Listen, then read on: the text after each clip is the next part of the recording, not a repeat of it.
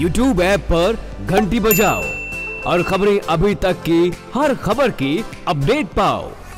राम कपूर के comedy show comedy high school का पहला एपिसोड जो कि प्रीमियर एपिसोड था, वो शनिवार को प्रसारित किया गया। सलमान खान इस शो के पहले मेहमान बने।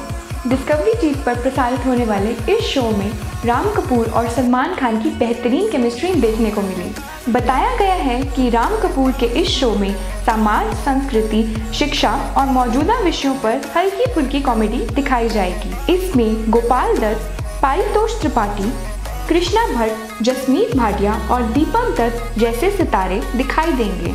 सलमान ने शो के बारे में ये भी कहा कि कॉमेडी हाई स्कूल की शूटिंग के दौरान बहुत अच्छा समय बीता और ये एक साफ़ सुथरी कॉमेडी शो है जो बहुत दिलचस्प रहा।